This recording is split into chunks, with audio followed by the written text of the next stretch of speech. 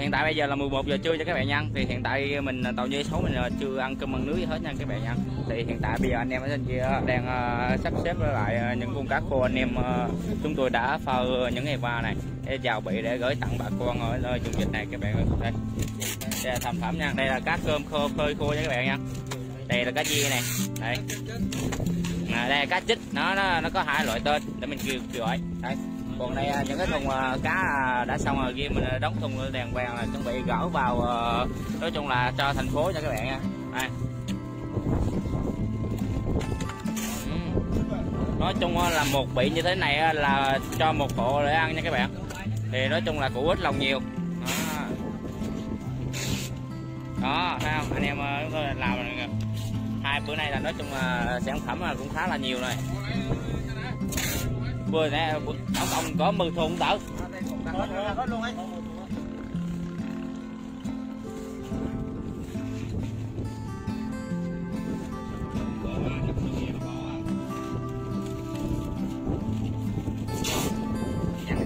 thùng một thùng như vậy là hai chục bị không tớ hai chục hai chục. Hai chục bốn chục sáu chục tám chục trăm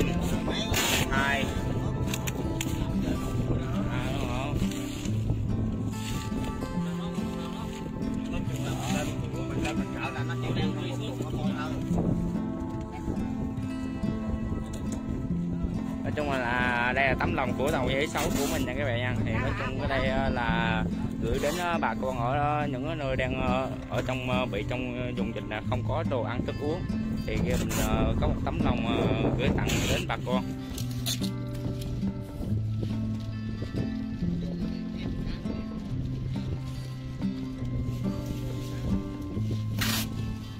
Bye.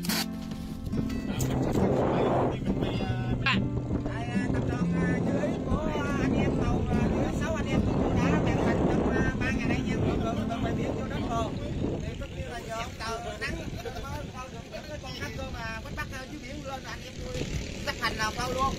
À, chủ tàu thuyền Nguyễn Bộ đã động viên anh em các cố lên để cho vùng dịch đã hết qua khỏi dịch trong trong nước Việt Nam trong năm nay. Việt Nam!